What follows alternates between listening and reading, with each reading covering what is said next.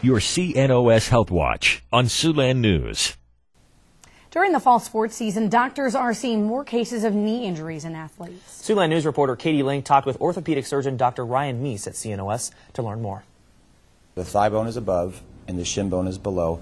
The kneecap tracks in the front. And if we move that to the sides, we can visualize just a little bit better.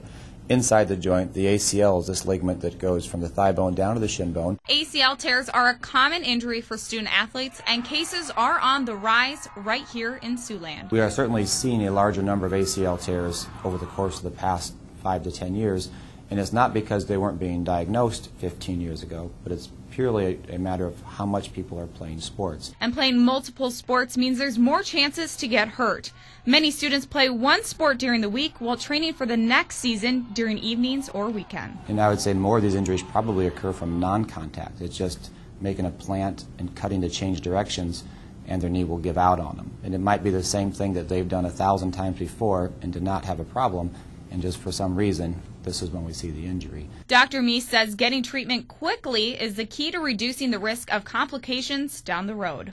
If it's a simple ACL tear, that is something that we can we can treat, and we can't fix the torn fragments, but we can reconstruct it. And the term reconstruction is used because tissue must be taken from somewhere else in the body to make a new ACL. Recovering from a torn ACL takes 9 to 12 months.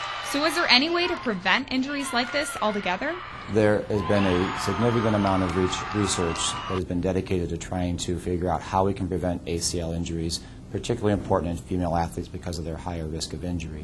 And most of this centers around learning different landing techniques, strengthening activities for legs, a lot of plyometric type activities. We're also encouraging coaches to incorporate it into their standard warm up drills prior to uh, their practices, again, in the sports that are of the greatest target, basketball and soccer specifically.